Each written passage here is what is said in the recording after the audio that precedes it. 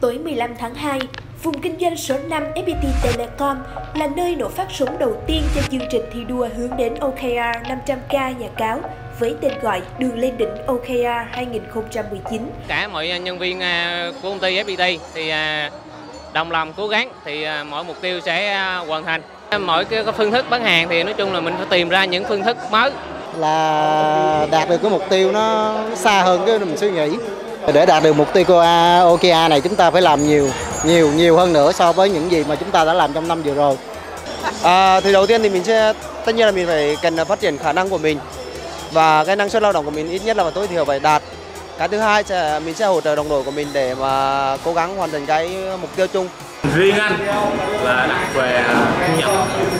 Thu nhập của anh là khoảng 50 triệu Chương trình quy tụ khoảng 600 cán bộ nhân viên FPT Telecom vùng 5 và có sự hiện diện của ban điều hành FPT Telecom, ban giám đốc vùng 5 và các khách mời đến từ HO.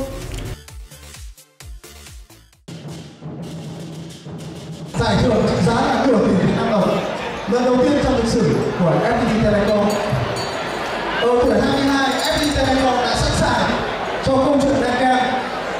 Ở tuổi 22, FPT Telecom đã sẵn sàng cho những câu chuyện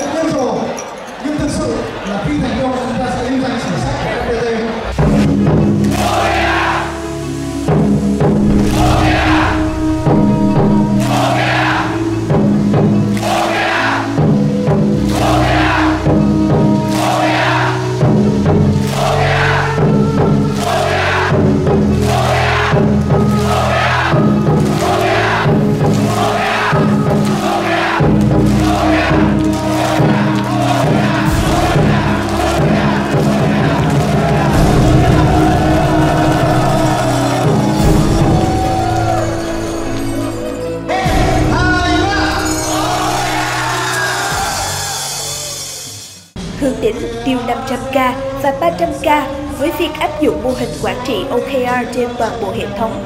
Chương trình thi đua Đường lên đỉnh OKR 2019 đã chính thức được ban lãnh đạo công ty phát động. Theo đó, 7 vùng với danh nghĩa 7 đội sẽ bước vào cuộc chiến đạt mục tiêu OKR đứng hạng nhất với tốc độ nhanh nhất. Không chỉ dành riêng cho khối kinh doanh, Đường lên đỉnh OKR năm 2019 còn là cuộc chơi cho tất cả cán bộ nhân viên thuộc các khối dịch vụ khách hàng, trung tâm chăm sóc khách hàng, trung tâm thu cước, khối kỹ thuật, hạ tầng.